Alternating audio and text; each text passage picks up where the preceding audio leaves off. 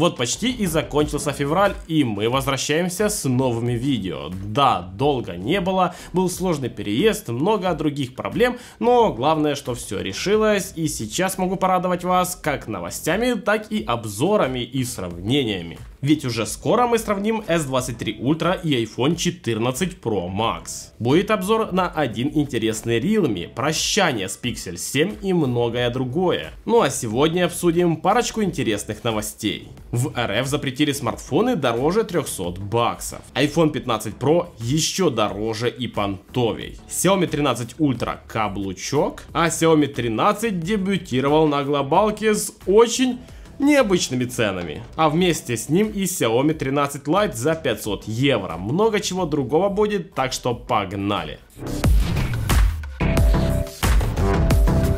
И давайте начнем именно с Xiaomi 13 Ultra, ведь он должен прийти и показать всяким этим Samsung, айфонам, как должны выглядеть камерафоны. Продолжая прошлогоднее партнерство с Leica, на задней крышке будет шильдик, а на фото огромная плашка Leica. Чтобы вы и те, кому будете отправлять фотографии, не забывали, кому бренд башляет бабки за настройку камеры, которые сделают из вашей профессиональной фотокамеры ненужный хлам. Как вы поняли, это все был сарказм, я не рекламирую Xiaomi 13 Ultra. Но что мы получим на практике? Необычный дизайн. Задник будет как бы утолщаться в районе камер. Не просто сам островок камеры, но еще и утолщение самой задней крышки. Я так понял, без этого утолщения мы получили островок под камерой вот такой бы высотой. Это было просто жесть. Сомневаюсь, что такая бандура не будет перевешивать и пытаться сделать двойное сальто на асфальт. А что именно по камерам приготовили нам Xiaomi, узнаем уже совсем скоро вместе с ценником. И что-то мне подсказывает, что он переплюнет iPhone 14 Pro Max и S20 23 Ultra. А вот буквально вчера на МВЦ нам показали глобальные Xiaomi 13 и 13 Pro с очень-очень интересным ценником в 1000 и 1300 евро за прошку. Я, конечно, понимаю, что в Европе там есть налоги, нужно еще как-то прикрутить цену, но в Китае Xiaomi 13 стоит около 600 баксов, но не 1000 евро. Конечно, в некоторых странах будут давать очень крутые подарки. Во Франции, к примеру, 43-дюймовый телек. Но это не везде, в некоторых странах вы практически ничего не получите. Уже начали принимать предзаказы на Xiaomi 13 и 13 Pro в Украине.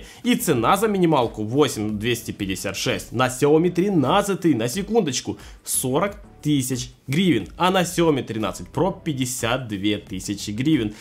На секундочку, это дороже, чем iPhone 14 Pro Max. Да, серый не официал, но официал стоит всего лишь на 3000 гривен дороже. Так что Xiaomi или iPhone? Тут вы напишите в комментариях. И к слову, Xiaomi 13, 13 Pro и 13 Lite, о котором я сейчас расскажу, уже можно предзаказать на Али. Еще и с неплохими подарками по неплохой цене. Эти лоты уже были опубликованы в нашей группе Telegram. Там есть еще много интересных товаров, так что заходите, ссылки будут в описании. И вот Xiaomi 13 Lite представлен миру на Snapdragon 7 Gen 1. Все его ждали, ведь это действительно первый первый смартфон с убийцей Dimensity 8100. Только, правда, вышел Dimensity 8200, но об этом мы умолчим. Ну, а сам Xiaomi 13 Lite это глобальная версия Xiaomi Civi 2. То есть у него есть Dynamic Island, как у iPhone.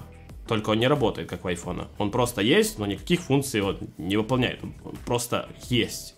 Еще его некоторые блогеры называют iPhone для бомжей. Но я категорически не соглашусь с этим мнением, потому что iPhone для бомжей это лека. А пока вы смотрите на этот iPhone для небогатых людей, можете подобрать хороший средняк от Realme и OnePlus, GT Neo 5 и 11R за 430 и 470 баксов, а OnePlus 11 за 709 долларов. Кстати, это глобальная версия. Кроме того, ко мне уже доезжают OnePlus Buds 2 по супер цене. Ссылки на товары будут в описании. Помните, существовал когда-то такой бренд лет 5-6 назад, который очень плотно конкурировал с Xiaomi. Он еще там брал систему, слизывал с iOS, пытался под Android переделать. Как же его звали?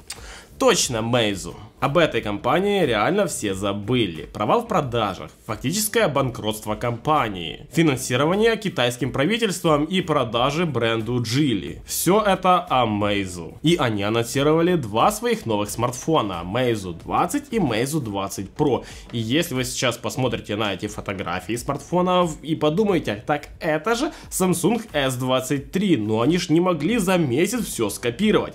Верно, они копировали по рендерам. По железу, правда, все выглядит очень хорошо. Meizu 20 за 500 баксов предложит Snapdragon 8 Gen 2, OLED с частотой обновления 144 Гц и ультразвуковой датчик отпечатков пальцев с неплохим набором камер. Модель Pro отличается куда более прокачанной 2К OLED панелью. Дополнительной TOF камерой и еще пару фишек докинуть, чтобы не было жалко отдать лишние 150 баксов сверху, то есть 650 долларов долларов. Но стоит ли нам ждать Meizu 20 и Meizu 20 Pro? В Китае, как говорят, вообще создал такой фурор, все его заказывают, все его хотят, все хотят купить этот новый Meizu. Но стоит ли у нас его брать? Давайте вы найдете где-то в Украине, ну хотя бы человека, не знаю, 2-3, которые купили Meizu 18 и Meizu 19 и спросите у них, как вам этот смартфон на глобалке. Я вам скажу, ответом вы вряд ли будете довольны. Ну и давайте немного поговорим об айфонах. Ведь активно начали лезть слухи, рендеры и даже CAD-чертежи новинок, которые дебютируют уже осенью. Новый iPhone 15, iPhone 15 Max, iPhone 15 Pro и Pro Max. Да, дизайн задника у iPhone 15 и 15 Max особо не поменяется, но в связи с средними продажами iPhone 14 и 14 Max в базовой модели придет Dynamic Dynamic Island. Может еще пару интересных фич с прошек завезут. Из остальных интересных фишек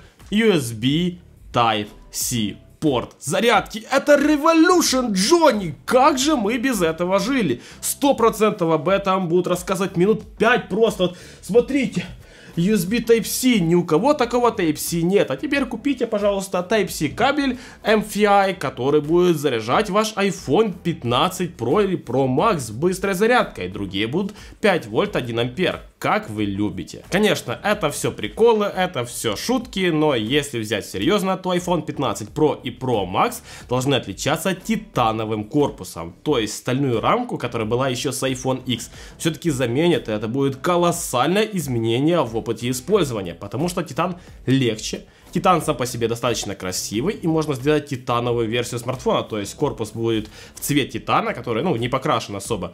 И с вами смартфоны станут легче, функциональнее, возможно, даже батарейку в 5000 мАч поставят, тогда андроиду придется 10 тысяч ставить, чтобы андроид-производителям хоть как-то конкурировать по автономности с этими айфонами. Сам корпус, кроме титана, получит еще и меньшие размеры, что 15 Pro, что Pro Max при сохранении диагонали. Спасибо за за это тонким граням экрана. А боковая титановая рамка должна получить еще и небольшие закругления, что улучшит комфорт использования, то есть меньший вес, больше закруглений, все то, что надо. А то 14 Pro, 13 Pro очень больно пользоваться. А сейчас давайте поговорим о смарт-часах, ведь это достаточно популярный класс устройств. Но кто же в нем лидер? На самом деле мы всегда обсуждаем, кто лидер среди смартфонов. Мы там все знаем, что Samsung рвет, что Xiaomi рвет. По смарт-часам мы знаем то, что рекламируется много. То есть Amazfit там компания есть, Xiaomi компания, Samsung, конечно же, Huawei. Но кто из них лидер? Вы удивитесь, но ни одна из вышеперечисленных компаний. Samsung имеет существенную долю в 9 9,8%, но это лишь второе место. Huawei занимают третье место, а Amazfit вообще седьмое. Xiaomi вообще выпали из общего списка продуктов. А лидером рынка является компания, которая даже не дает пользоваться своими устройствами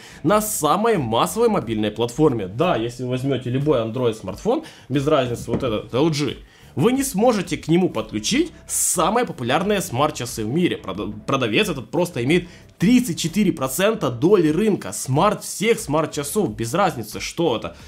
Это жесть. И это компания Apple. Возможно, именно по этой причине Samsung рассматривает внедрение загнутого экрана, как у Pixel Watch и Apple Watch в своих будущих Watch 6. И они уже должны дебютировать этим летом вместе с Fold 5. И что там по США?